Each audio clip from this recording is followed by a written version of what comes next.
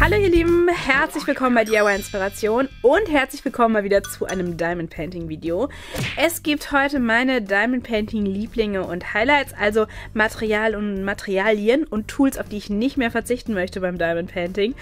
Und es gibt natürlich auch ein Update für euch. Ich zeige euch, wie es mit den Star Wars Figuren weitergegangen ist und natürlich auch mit dem großen Diamond Painting. Da komme ich immer besser voran. Ähm, es wird, ich bin am überlegen, so vielleicht bis Halloween oder so oder vielleicht auch bis Weihnachten habe ich es geschafft. Ihr könnt gerne mal in die Kommentare schreiben, was glaubt ihr, wie lange wird das tatsächlich mit dem großen Diamond Painting dauern? Weihnachten, Halloween, Ostern, was ist realistisch? Schreibt es gerne mal unten rein. Und ja, los geht's für euch mit meinen Diamond Painting Lieblingen. Ganz, ganz viel Spaß.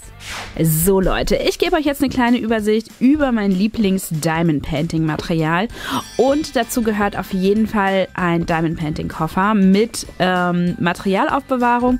Super praktisch, ähm, entweder tatsächlich zum Mitnehmen oder auch einfach, um das Ganze eben hübsch aufzubewahren. Ähm, ich hatte es früher tatsächlich mal einfach in so einem Ziploc-Beutel, wie man den vielleicht so zum Einfrieren oder für den Flughafen nimmt. Einfach alles reingeworfen ähm, und dann oben zugemacht. Ist natürlich auch gut aufbewahrt, aber so ist es halt schön, ordentlich und man hat eben eine gute Übersicht. Ich habe hier diese Reihen 6x5 für die Döschen. Ähm, für die kleinen Steinchen. Da seht ihr, einige ist was drin, in anderen nicht. Ich habe hier auch so einen einfach gemixt. Mal gucken, wenn ihr gute Ideen habt, was man tatsächlich mit Diamond Painting Steinen, die man nicht mehr braucht, also die übrig geblieben sind, weil es ist immer zu viel Material dabei, machen kann, schreibt es gerne in die Kommentare. Dann habe ich hier oben die Farben, die ich für mein großes Diamond Painting brauche. Da seht ihr natürlich gleich auch nochmal ein Update zu im Zeitraffer. Hier sind auch die Glitzersteine davon. Das bewahre ich also da auf. Würde ich auf jeden Fall jedem empfehlen. Äh, bei diesen Koffern sind diese Röhrchen auch immer dabei. Man kann das Ganze beschriften. Ich habe es jetzt hier tatsächlich einfach unbeschriftet gelassen, ähm, weil die Farben, die ich momentan aktiv in Benutzung, hab, in Benutzung habe, tatsächlich diese hier sind und die kann man sehr, sehr gut unterscheiden, sind sechs verschiedene Farben und eben die Glitzersteinchen. Da kann mir eigentlich nichts passieren, aber wenn man eben verschiedene Grüntöne, verschiedene Blautöne hat, die sehr eng aneinander sind, vielleicht schöne Farbverläufe, dann natürlich immer gut, das Ganze auch ordentlich zu beschriften. Und dann komme ich auch hier einmal zur anderen Seite. Also ich habe ähm, auch schon mal verschiedene Diamond Painting Koffer getestet. Die meisten haben das eben eben hier mit so einem kleinen Netzchen, wo man eben ähm, andere Sachen eben drin aufbewahren kann, also so das Zubehör, was man sonst so braucht. Und was ich auch auf jeden Fall empfehlen würde, wäre tatsächlich so ein ähm, Bastelskalpell.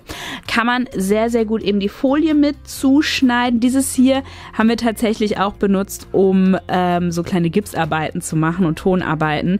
Deswegen sieht das nicht mehr ganz so ordentlich aus, aber es schneidet noch. Also lasst euch da nicht ähm, wundern, wo diese weißen Flecken hierher kommen, dass es tatsächlich Gips. Aber das, äh, äh das äh, Bastelskalpell funktioniert noch gut.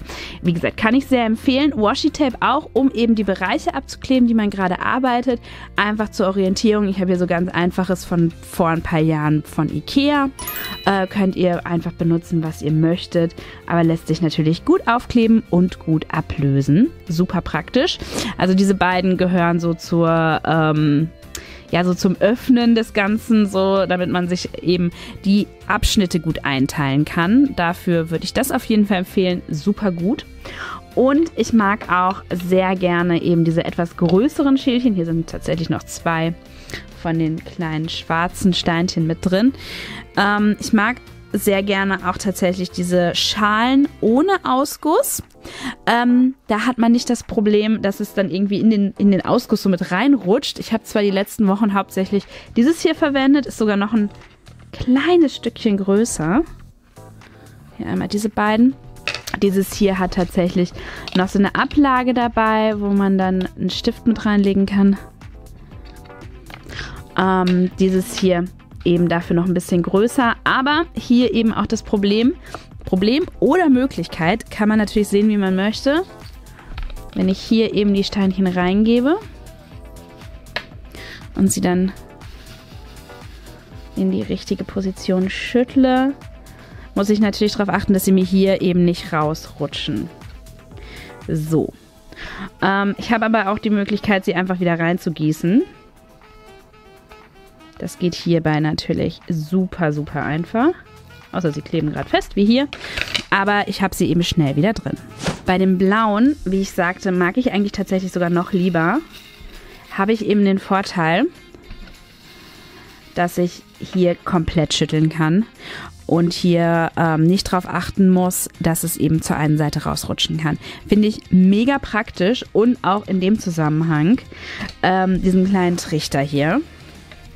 Weil hier natürlich schwierig, das Ganze wieder in die Dose rüber zu bekommen. Es geht natürlich hier so rüber, aber dann, ihr seht schon, hier liegt schon das erste auf dem Tisch. Bisschen, bisschen schwierig. Finde ich immer so ein bisschen riskant. Mache ich ungern. Hier diesen ausklappbaren Trichter. So, da haben wir ihn. Einmal hier rein. Und dann kann ich das wirklich hier einfach oben reinkippen. Außer hier natürlich auch wieder die, die hartnäckig sind und nicht rein wollen. So. Und habe sie hier auch relativ schnell wieder drin. Natürlich wieder drei, vier hinten verteilt, aber die sammle ich gleich ein. Also so ein Trichter, wie gesagt, auch super praktisch, auch häufig bei solchen Koffern einfach mit dabei. Und dann natürlich die große Frage, welche Applikatoren äh, mag ich am liebsten welche Aufsätze. Ich mag tatsächlich, habe ich jetzt so gemerkt, die Dreier benutze ich sehr häufig. Kann man natürlich auch zwei Steinchen mitsetzen oder auch einzelne Steinchen. Kann man natürlich mit den anderen auch, aber mit dem Dreier eben noch relativ präzise und mit dem Dreier eben auch ähm, 3 ist natürlich auch schon eine recht häufig vorkommende ähm, Stärke, die man halt so braucht. Also mit dem arbeite ich so am häufigsten. Also das so meine Lieblinge beim Diamond Painting. Und jetzt gibt es natürlich noch ein Update für euch. So, ihr habt es gerade vielleicht schon im Hintergrund gesehen. Ich habe Prinzessin Leia fertig gemacht ähm, mit diesem kleinen Holzboard hier dabei. Super, super niedlich. Steht jetzt bei mir so ein bisschen im Hintergrund mit rum. Ähm, Han Solo und Luke Skywalker habe ich noch vor mir, werde ich natürlich auch noch machen. Und den kleinen Drachen habe ich auch fertig. Da kommt er. Den habe ich ja im letzten Diamond Painting Video gemacht gehabt und den habe ich jetzt auch einmal versiegelt. Man sieht das hier so ein bisschen schimmern. Hier hat sich die Versiegelung so drüber gezogen, hier über das Auge auch so ein bisschen. Also es nimmt den Farben wirklich nichts. Also es ist ja immer diese weiße Flüssigkeit.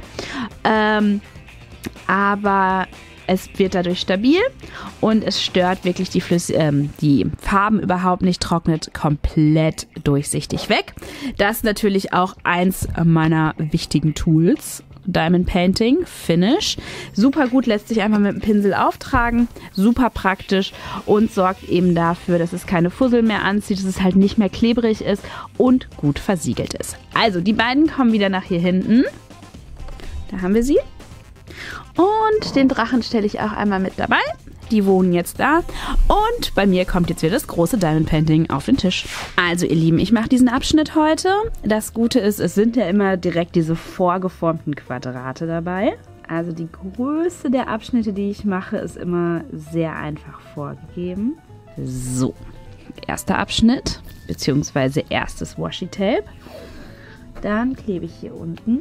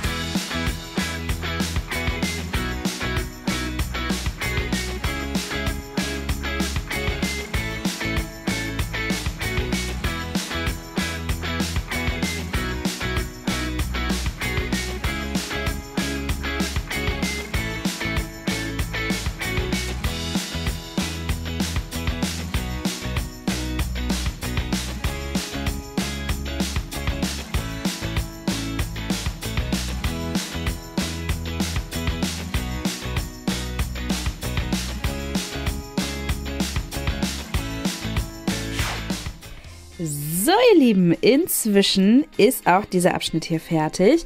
Ich muss tatsächlich mal wieder versiegeln. Diese beiden hier sind noch nicht versiegelt und die hier in der Ecke auch nicht.